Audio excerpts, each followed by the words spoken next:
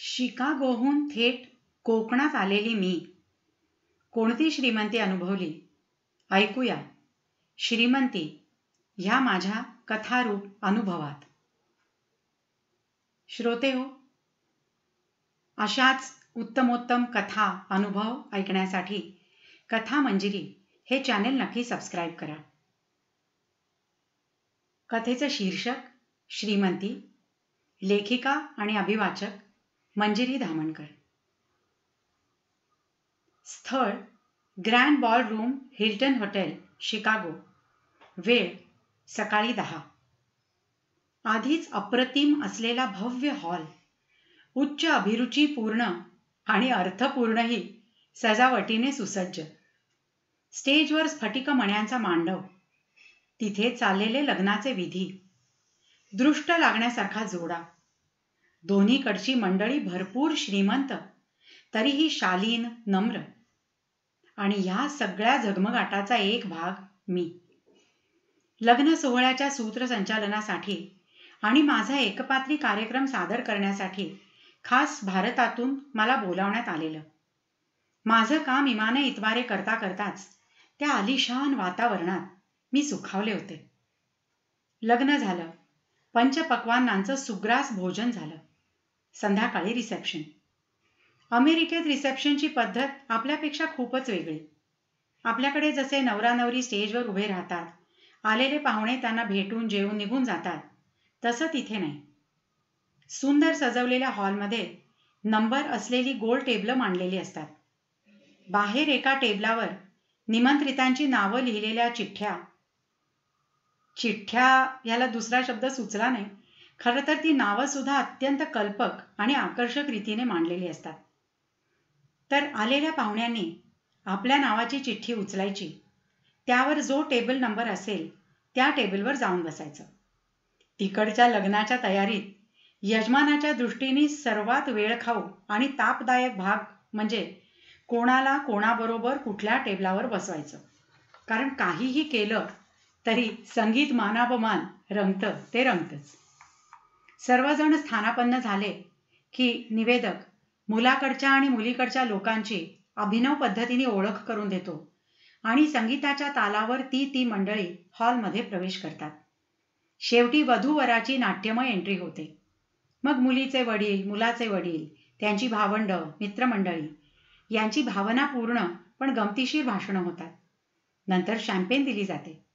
मग दहा बारा पक्वांना असलेलं जेवण अगदी पंगत असल्यासारखं आपल्या टेबलावरच आणून वाढतात. आणि शेवटी dance. Father daughter bride and groom dance. असं होत होत सर्व मंडळी डान्स फ्लोअरवर येतात आणि ही धमाल मध्यरात्रीपर्यंत चालू असते. हिल्टनमधलं त्या दिवशीचं रिसेप्शनही असंच. वधू पित्याने त्याच हॉटेलमधल्या आलिशान खोल्या पाहुणे मंडळींसाठी अर्थात माझ्यासाठीही बुक केलेल्या. हा सगळा श्रीमंती पाहुणचार घेऊन अत्यंत देखण्या ऑर्किड फुलांची सजावट नजरेत साठवून एकूणच अमेरिकेतल्या श्रीमंतीनी दिपून आणि माझं काम उत्तम झाल्याच्या सर्वांनी केलेल्या कौतुकाच्या वर्षावात चिंब होऊन मी परत मुंबईला आले. माझा नवरा डॉक्टर दिलीप आणायला आला होता. दुसऱ्या दिवशी आम्ही पुण्याला यायला निघणार होतो. त्यावेळी दिलीप कोकणातल्या खेड इथल्या डेंटल कॉलेजचा डीन होता. पुण्याला निघण्यापूर्वी तो सहज म्हणाला मला उद्या लगेच खेडला जावं लागणार आहे. तर आज आपण खेडलाच जायचं का? दोन दिवसांनी पुण्याला जाऊ. मला कोकण आवडतंच. मी लगेच हो म्हटलं. शिकागोहून नुकतीच उतरलेली मी थेट खेडला आले. तिथे आम्ही साध सागराची या मालिकेतली काही पुस्तकं घेतली आणि नकाशावर आसपासची फारशी माहिती नसलेली ठिकाणं शोधून काढली. मग एक दिवस पन्हाळे काजीची लेणी पाहिली. नदीच्या काठी गर्द वनराईतली ती लेणी पाहून छानच वाटलं. दुसऱ्या दिवशी सकाळी सहालाच निघालो. पालघर या गावी असलेलं साने गुरुजींचं घर बघितलं. लहानपणी वाचनाचा श्री गणेशा ज्या पुस्तकांनी केला त्यात साने गुरुजींची सर्व पुस्तकं होती. त्यामुळे ज्या घरात त्यांचं बालपण गेलं त्या वास्तूत पाऊल ठेवताना मन खरंच भरून आलं. त्यानंतर शेडवई अशा नावाच्या गावी एका छोट्या मंदिरात असलेली आठशे वर्ष जुनी विष्णूची मूर्ती पाहायला गेलो. काय सांगू? तो अनुभव तर शब्दातीत होता. सकाळची वेळ गर्द झाडी निर्मनुष्य परिसर खळाळणारा छोटासा ओढा. त्या ओढ्याचा खळाळ आणि पक्ष्यांचा किलबिलाट या पलीकडे कसलाही आवाज नाही. थोड्या पायऱ्या चढून गेल्यावर काहीसं भग्न असलेलं ते मंदिर होतं. लांबूनच देवळाच्या दारातल्या पांढऱ्या चाफ्याने देव चाफ्याने आमचं स्वागत केलं. आणि मंदिरातून ओंकाराचा ध्वनी ऐकू आला. म्हटलं वा कोणीतरी पूजा करते वाटतं. पण जेव्हा मंदिरात गेलो तिथे कुणीच नव्हतं. मग ओंकार कोण करताय? आणि काय सांगू? नीट पाहिल्यावर तिथे चक्क चार पाच भुंगे दिसले. ओंकार साधनेत भ्रामरीचं महत्त्व काय? ते तिथे उमगलं आणि अक्षरशः अंगावर काटा आला. त्याच भावावस्थेत तिथून निघालो. जून महिन्यातली अभ्राच्छादित सकाळ. नजरेला शांतवणारी हिरवीगार वनराई. वळणा वळणाचे मुरकीदार रस्ते तांबडी माती. मध्ये मध्ये लागणारी लाल चुटूक कौलारू घरांची गावं. महाराष्ट्राची निसर्ग श्रीमंती उधळणारा हा प्रवास. संपूच नये असं वाटत होतं. कोकणातलं आणखी एक अविभाज्य दृश्य म्हणजे मैलोन मैल चालत जाणारी माणसं. असेच एक आजोबा चालत जात होते. आम्ही त्यांना गाडीत घेतलं. त्यांच्या गावापासून पाच किलोमीटर चालत आले होते. आणखीन तीन चार किलोमीटर जायचं होतं. मी मनात म्हणत होते बरं झालं बिचाऱ्यांची पायपीट वाचली. पण तेवढ्यात ते म्हणाले व्यायाम झालेला बरा असतो. खरं तर माझी गाडी म्हणजे स्कूटर आहे. पण मला चालणेच बरे वाटते.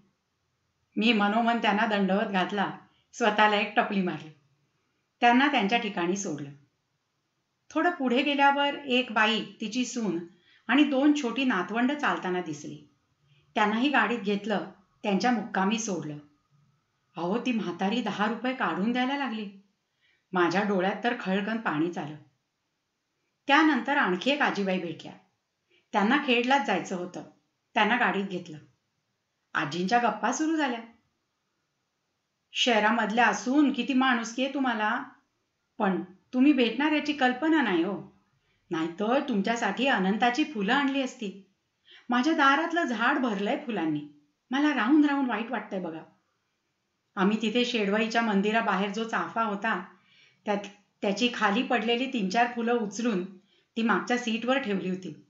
ते बघून ह्या आजीबाईंना त्यांच्या घरच्या आनंदाची आठवण झाली होती.